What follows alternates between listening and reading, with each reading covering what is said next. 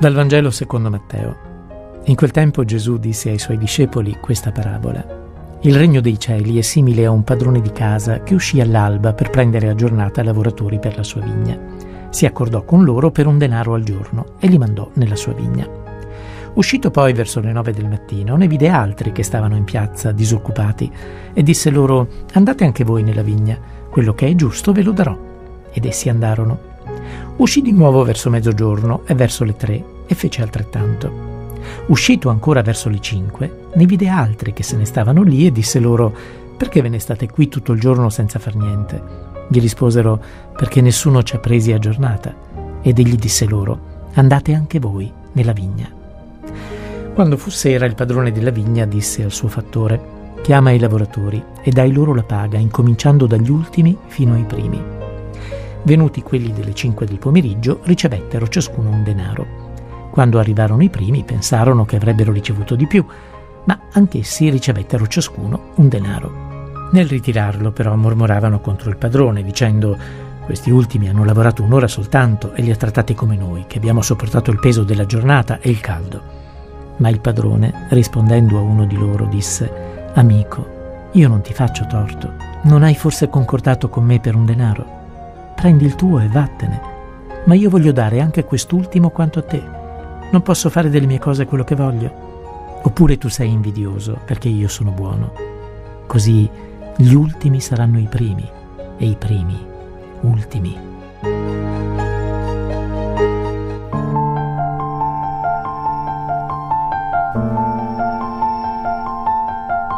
Certamente anche il più sindacalista da strapazzo, ascoltando questa pagina evangelica, sussulterebbe sulla sedia dicendo eh, ma questo padrone va contro tutti i vari elementi essenziali del diritto del lavoro.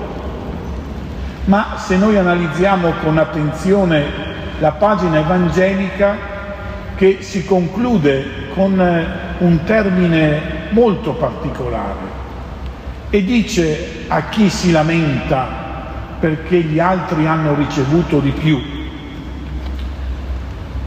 tu sei forse invidioso perché io sono buono? L'invidia. Diceva un proverbio popolare un tempo che se l'invidia fosse febbre tutto il mondo ce l'avrebbe ma è vero. L'invidia è uno dei punti essenziali che muove al male molte persone. E che cosa vuol dire essere invidiosi? Ci sono due elementi, c'è un'invidia, quella che conosciamo tutti perché poco tanto siamo stati tutti toccati dall'invidia, l'invidia delle cose altrui, l'invidia dei beni altrui, l'invidia delle virtù e l'invidia insomma di coloro che hanno di più o che hanno meglio e noi poverini siamo sempre il brutto anatroccolo che insomma fondamentalmente non ha mai niente mentre gli altri hanno sempre tutto. Ma finché ci fermiamo a questo tipo di invidia, dicono i padri della Chiesa, è anche plausibile, è riconoscibile nel DNA umano di essere un po' invidiosi per il bene altrui, anche se, ricordiamo, è uno dei peccati capitali. Ma c'è un'invidia ancora più grave però, c'è l'invidia di Dio. È possibile essere invidiosi di Dio? Beh, il primo grande invidioso di Dio è stato Satana, è stato il grande invidioso in due modi. Il primo perché Dio era Dio e lui e voleva essere al posto di Dio. Il grande atto di superbia. Ma una seconda grande invidia il diavolo l'ebbe quando Dio creò l'uomo. Lo creò ad immagine e somiglianza di Dio. E lì scoppiò in maniera particolare, furibonda, l'invidia del diavolo. Ma come? Tu hai creato un uomo perché prima vi erano gli angeli, creature celesti dotate di conoscenza, di libertà, di, eh, eh, chiaramente eh, creature straordinarie, bellissime, ma Dio nel suo amore pensa di creare anche l'uomo, l'uomo a sua immagine e somiglianza e quindi l'invidia diventò ancora più forte. Infatti la lettera agli ebrei sottolinea che la morte entrò nel mondo per invidia del diavolo. Chiaramente questa invidia arrivò al punto da tentare i nostri progenitori per farli cadere e quindi di conseguenza far introdurre nel mondo la morte. Questo è un tipo di invidia, ma ce n'è un altro. È proprio l'invidia della gloria di Dio, che è tipicamente una sorta di contagio del mondo diabolico. La gelosia, l'invidia. Pensate oggi quanti uomini e donne hanno l'invidia di Dio. Quando si va nelle città d'arte, ma anche la nostra non è da meno, la nostra chiesa, si vedono queste bellissime chiese piene di marmi, di stucchi, di quadri straordinari, bellissimi. Si dice, ma guarda, un tempo che bravi che erano, che, che amore che mettevano nelle cose, perché? Perché erano le cose di Dio. E quindi profondevano tutto ciò che avevano per la gloria di. Poverini vivevano in casupole, vivevano male, specialmente qui sul lago. Io sono di Garda, so molto bene che cosa voleva dire qualche anno fa prima che venisse il turismo, vivere in questi luoghi dove la fame era quasi ogni giorno, se non qualche tempo dell'anno, quando il lago dava qualcosa di straordinario, ma alla fine non era la campagna qui dove vi erano sempre frutti, eccetera, e qui c'era grande fame. Eppure i nostri padri si sono tolti il pane di bocca per fare le cose belle per Dio. Oggi le cose si sono capovolte. Oggi abbiamo le case molto belle, confortevoli, in classe A, A, A, A, A, A, più, più, più, più.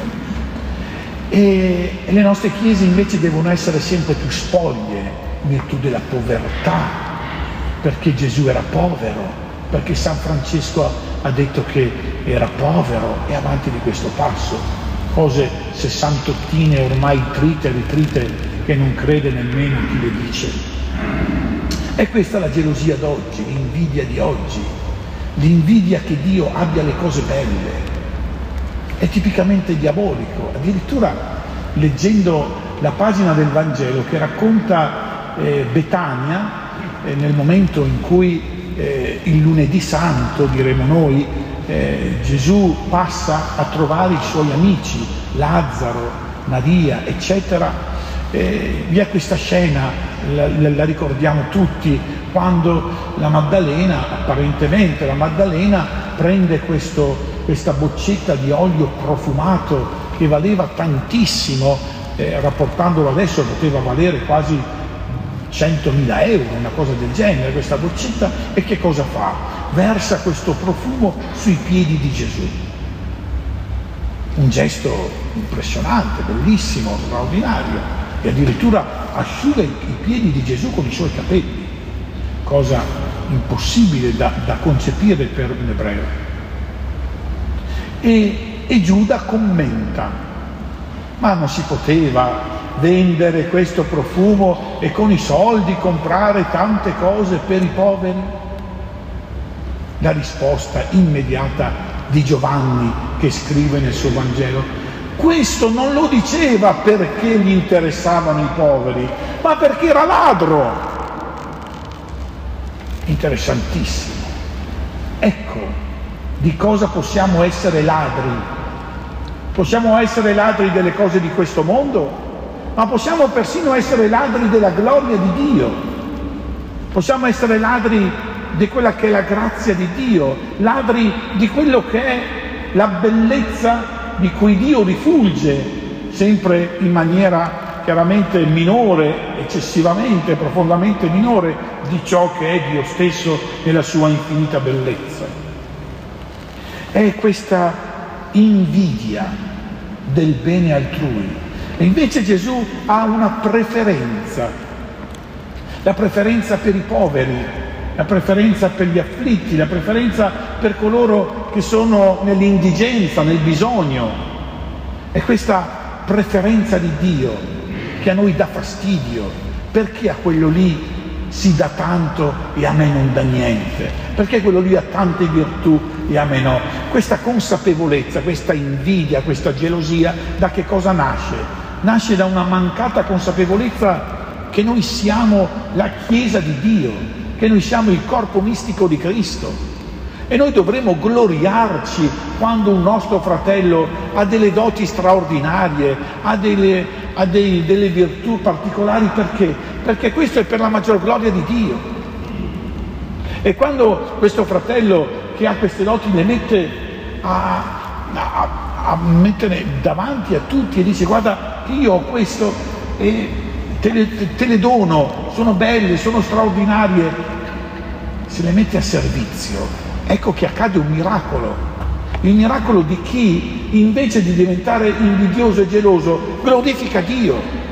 Invece di rattristarsi quando gli altri hanno del bene, gioiamo, ma guarda che bello quello là, ma guarda come sta bene. A volte, fratelli e sorelle, ma veramente eh, io penso che ci sia veramente un grande male dentro di noi quando non riusciamo più a gioire del bene degli altri. Sembra quasi che gioiamo solo quando gli altri stanno male, quando gli altri hanno qualche problema.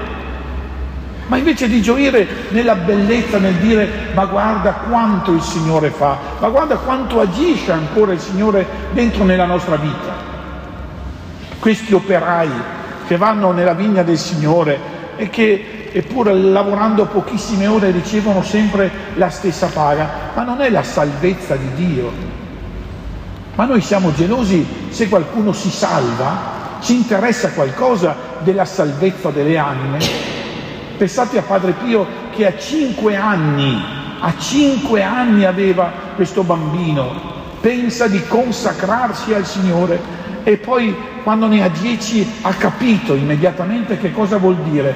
Voglio consacrarmi al Signore, donare tutta la mia vita per due cose fondamentali, per la conversione dei peccatori e per la liberazione delle anime del purgatorio. Ma chi mai pensa oggi di sacrificare la propria vita, di donare le proprie sofferenze, di chiamare di intercettare ogni sofferenza di questo mondo e implorare il Signore, perché nelle lettere è scritto nero su bianco, Signore mandami tutti i mali di questo mondo, perché io voglio soffrire per la conversione dei peccatori. Non so quanti di noi possano fare un'esperienza del genere. Chiaramente Padre Pio era del tutto speciale, particolare, aveva una vocazione indubbiamente del tutto particolare, però un minimo, fratelli e sorelle, almeno far scemare dentro dalla nostra vita questa dimensione della gelosia, questa dimensione dell'invidia, questa dimensione del guardare gli altri e invece la dimensione della bellezza e della bontà, che è uno dei frutti dei doni dello Spirito Santo, la benevolenza. Lo dice la parola stessa, volere bene, non malevolenza, che è volere male degli altri, ma benevolenza, essere benevolenti. Certo che l'azione spirituale, l'azione pneumatica dello Spirito che agisce in noi attraverso i sette doni e che li mette in atto nella nostra esistenza, attraverso i dodici frutti dello Spirito Santo, eh, dobbiamo invocarla, chiederla continuamente affinché lo Spirito Santo agisca in noi, perché possiamo diventare benevolenti. E allora vedete che cosa dice Gesù nel Vangelo al termine? Così gli ultimi saranno i primi i primi saranno gli ultimi. Vogliamo primeggiare su tutto? Vogliamo essere i primi? Vogliamo essere i migliori? Ricordiamoci che saremo gli ultimi. Ma non per una questione eh, di tipo moralistico, di tipo intimistico, eh? Cerca di essere umile, la falsa umiltà, dico ah ma io non so niente, io non faccio niente. No, no, non è questa falsa umiltà, ma è la consapevolezza che il Signore sicuramente a ciascuno di noi ha dato un dono grandissimo che dobbiamo mettere in pratica, che dobbiamo far fruttificare e chiederci, ma io nella mia vita che cosa do? Perché sono qui? E allora quando c'è qualcuno che eccelle in qualcosa, Deo grazias, Deo grazias, Signore ti ringrazio della bellezza, della grandezza. Io quando vado magari in giro per le città d'arte o vedo delle cose molto molto belle, eh, mi viene da pregare per quella persona che ha fatto quella cosa. Voi direte, ma eh, vi fu qualche anno or sono eh, il, il centenario della morte di Mozart. E a Verona si fece una grande eh, preparazione, un festival eccetera. E un giorno vennero nella mia chiesa di, del centro di, di Verona alcuni eh, perché volevano fare, come abbiamo fatto peraltro qualche, qualche mese fa, il Requiem di Mozart, eh, il Requiem di Mozart, famosissimo, questo con l'orchestra e tutto quanto. E io gli dissi, benissimo, facciamo pure questo, questa bellissima messa con, i, con, il requiem, la messa con il requiem, messa proprio messa della requiem, e, e ricordo che dissi, eh, celebrai io, dissi, questa messa qui la celebriamo per il defunto Wolfgang Amadeus Mozart, per ringraziarlo. Noi ascoltiamo, io ascolto moltissima musica e, e dico, però nessuno si ricorda di lui, poi ha fatto una morte un po' così, sappiamo. Ma pregare anche per coloro che ci fanno del bene, coloro che hanno scolpito la pietà, Michelangelo, colui che ha scolpito il David, e, e, e avanti di questo passo, cioè avere questa consapevolezza che eh, ringraziare il Signore per quello che gli altri hanno fatto, per quelli che gli altri continuano a dare, è un dovere primario di ciascun cristiano.